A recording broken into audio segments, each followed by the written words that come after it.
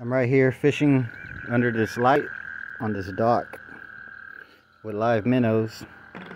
And I got my first, looks like a yellow bass or a stripe, a baby striper. Not bad.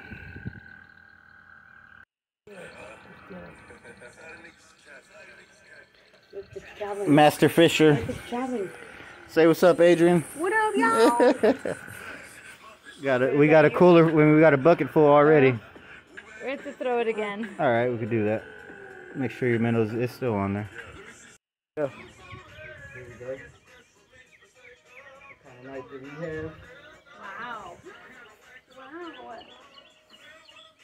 Big ones are Adrian. Actually, the biggest one I caught. Damn, Frank, look at that. That's what she said. That was a night right here. yeah, we feasting tomorrow. Stop it. And then we'll get a picture after that of us. Get over here. Come on. Another night of catching some pretty good fish.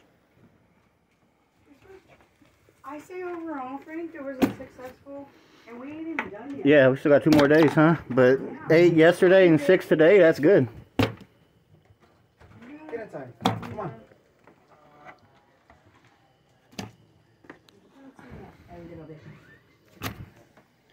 Here at the Fisherman's Point Resort, the biggest cabin in the whole place. What's up, y'all? I got one, y'all. Yes! Is it a big one enough to keep? I think so. It's about the biggest one that I could just caught.